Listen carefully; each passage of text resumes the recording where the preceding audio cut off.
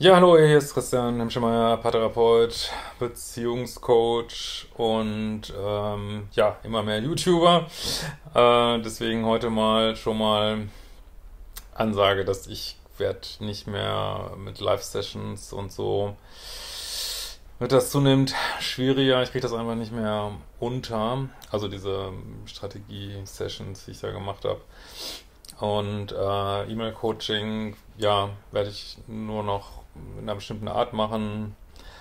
Ähm, genau, also versucht da im Wesentlichen über die Kurse dann ähm, das Wissen zu bekommen. äh, ich schaffe das einfach nicht mehr, diesen ganzen Content und äh, ja, die Leute, die schon in Kursen sind, äh, da irgendwo ist ja auch immer was, was da gemacht werden muss. Jo, aber gut, so viel dazu. Ähm, genau, heute Thema ist Liebeschip und Arbeitsbeziehungen.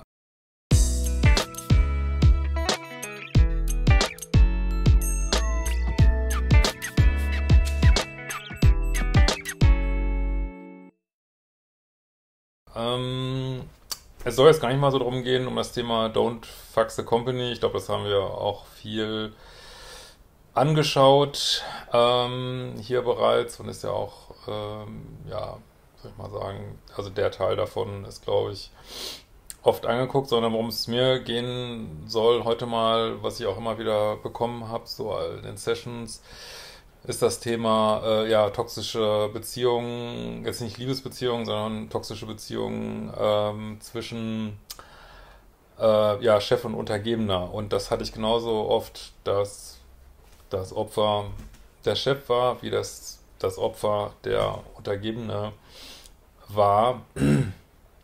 Und ähm, ja,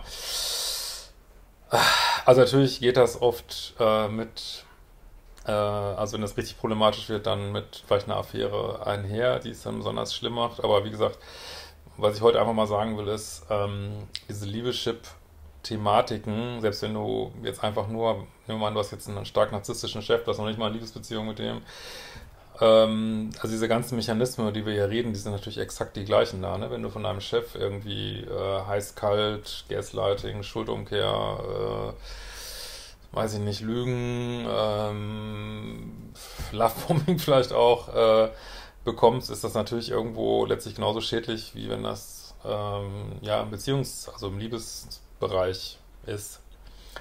Und, ähm, und das gleiche betrifft übrigens auch, wenn du Chef bist von jemand, der dich so ein, durch so eine toxische Scheiße zieht irgendwie. Das kann durchaus sein, dass, dass du da ähm, ja vielleicht eine Geschichte hattest als Chef mit jemand ja, das natürlich soll man nicht machen, klar. Äh, aber gehst dann raus und äh, ja, siehst dich plötzlich alle Arten von komischen Vorwürfen ausgesetzt oder bist durch den Kakao gezogen und äh, wie gesagt, nicht, dass man das, äh, natürlich, man sollte das alles nicht tun, ne? Ähm, aber ich wollte nur mal sagen, auch natürlich kann es auch an solchen Arbeitsumgebungen diese, diese ganze, das ganze Ausmaß dieser Toxik geben, diesen normalen Liebesbeziehungen auch gibt und mit den gleichen Konsequenzen. Also da, das, werde immer wieder gefragt, was ist denn äh, mit ja, toxischen Beziehungen, man hat Kinder zusammen. Ich meine, das werde ich sowieso keine Videos drüber machen hier. Äh, das habe ich ja schon x-mal gesagt. Ähm, aber was ist denn mit toxischen Beziehungen am Arbeitsplatz? Ja, es ist das Gleiche. Ich meine, ich kann, also wenn solche Beziehungen da angefangen werden oder äh, wenn, oder auch nur, wie gesagt, ohne Beziehung, man sich da so verstrickt mit jemandem auf der Arbeit ähm, und leidet, es ist das Gleiche. Ne? Es ist, äh, letztlich muss man sich immer überlegen, ich kriege mal so ein, ja, dann sagen wir, was soll ich denn machen? Dann meine ich, ja, das Beste wäre Nullkontakt, ja, aber wir arbeiten noch zusammen. Meine ich, ja, ist jetzt aber so, ne? Ich meine, ihr habt, das ist jetzt so, hat sich so entwickelt, wie es sich entwickelt hat. Ähm, ja, was soll ich denn sagen? Ja, leiden oder gehen. Ne? Ich meine, es ist also, wenn man jetzt vielleicht in so einer Liebessuchtgeschichte auf der Arbeit ist, es ist nicht anders, als wenn du nicht auf der Arbeit bist. Ne? Es ist, du leidest, du brauchst diesen Abstand, dir wird weiter Energie abgezogen, du schaffst es nicht, dich dagegen zu wehren und dann ist halt Nullkontakt das Beste. Und Was das dann genau heißt, weiß ich auch nicht, ne? Ob man dann äh, die Abteilung wechselt oder, äh, oder ob man Strukturen, die es in der Firma gibt, die einem da vielleicht helfen können, äh, Human Resources, ob man die mit dazu nimmt, nicht mit dazu nimmt, keine Ahnung, muss man gucken. Ich kann nur sagen, von der psychologischen Seite ist es exakt das Gleiche und es exakt die gleichen Sachen helfen einem. Ja? Das ist immer das, irgendwo das Einfache, aber auch irgendwo das Brutale, dass äh, das sind immer die gleichen Tools, das ist immer das gleiche Vorgehen und natürlich gibt es da in der Ausführung manchmal Probleme, aber letztlich ist immer die Frage, wie wichtig ist dir dein Seelenheil und dein Seelenfrieden? Wie viel bist du bereit, auf Seelenheil und Seelenfrieden zu verzichten, nur um keine Unannehmlichkeiten zu haben, was vielleicht ein Jobwechsel oder Abteilungswechsel oder mit Leuten reden, wie viel ist es dir das wert? Ne?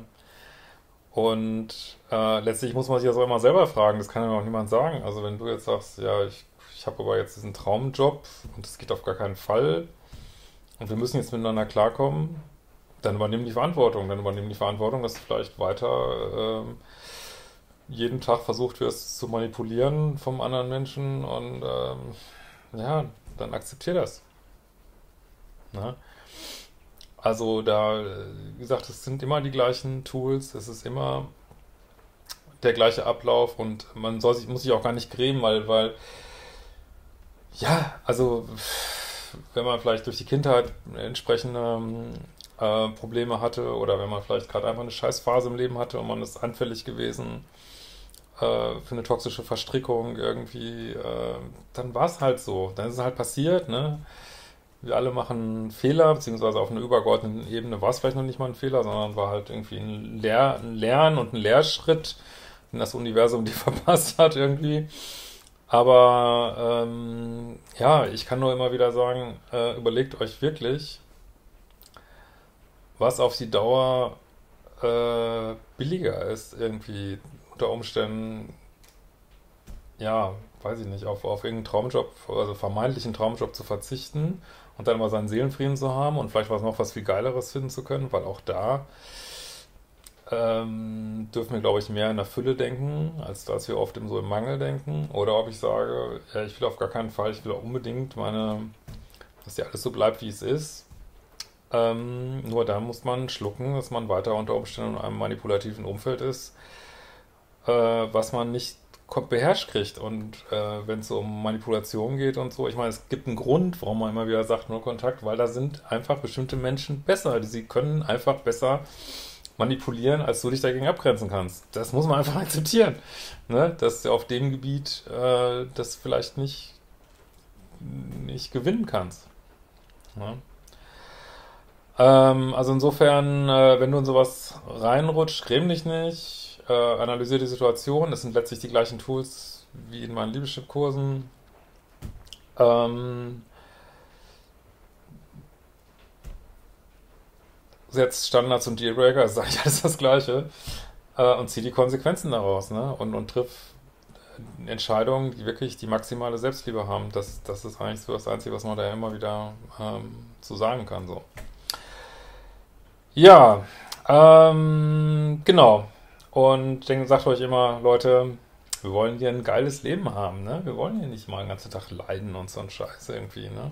Also, ähm, geht nicht so in die Opferhaltung rein, egal ob jetzt auf Arbeit oder sonst wie, sondern packt die Sachen an, packt die beiden Hörnern, äh, geht's an, übernehmt die Verantwortung und dann off you go. Und dann könnt ihr auch Ergebnisse erzielen auf lange Sicht, die, ähm, ja, vielleicht weit über das hinausgehen, was ihr euch jemals zugetraut hättet. In diesem Sinne, wir werden uns bald wiedersehen.